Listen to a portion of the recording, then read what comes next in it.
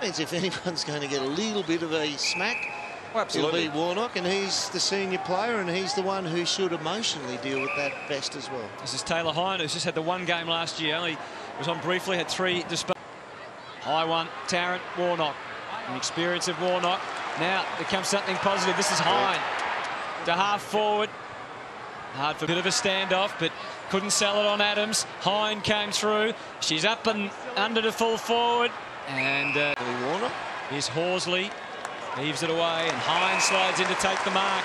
And the longer this goes on, the more the crowd will get involved, the more the confidence will build of the Gold Coast.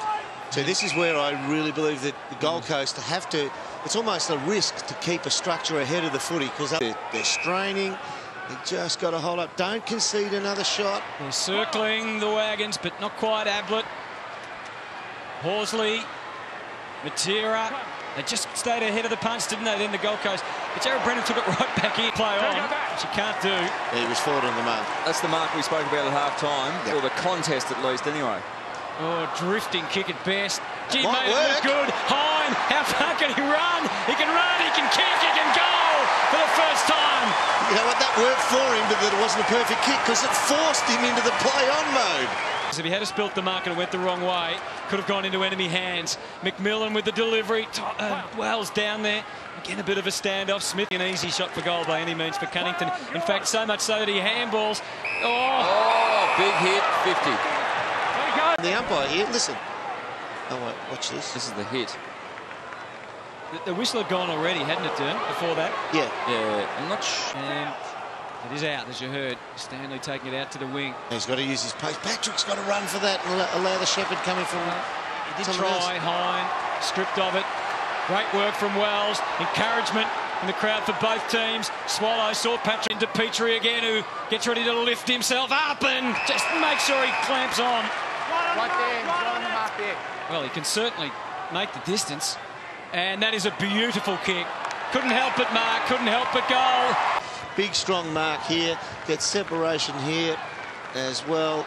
His man falls off. That's just fatigue. I think that is from looking at it front on. It looks like Hine. Harvey, there was confusion when Thomas and Harvey were coming close together and just a lack of communication. So that nearly brought them unstuck. But in the end, the little man, after this little bit of confusion here, did some beautiful work. Good work from Thomas not to concede. Got the ball over to Harvey. Wrong moment. And the Roos just heaving it out to the wing with Bastinac's kick. Wilkinson's had to go to Tarrant now. That's a bit of a mismatch, but they've had. Wells arrived on the scene, just Good kicked in hope, and it's getting back. Oh, what a bounce it was! It was perfect for Wright. Hine hangs on, and the Look boy at the numbers. The boy from Ruby. Gibson and his first. What an experience for him on debut. Tats, no free kick in between. Everyone a bit of a standoff. Tarrant had a moment, got enough on it to cause some more havoc deep. Here he is, Hine. He's gone. He put it down. Oh, not so, said the umpire.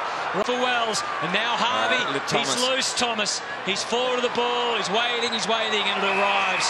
And a nice parcel inside to swallow through the middle, and Thomas is on again. He's too far out to score this time, even if he gets it. Has a little glance over the shoulder, takes Hine up to the 50, and that's about where it ends. Ablett, the goal up.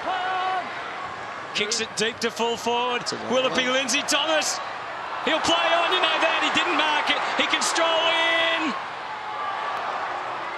Atley left it for the big man Goldstein. Oh, he's good oh, got mark, up and great got mark. it. Great mark, Benzie Thomas. Well done. And now he has to just go back and use all the seconds until the umpire.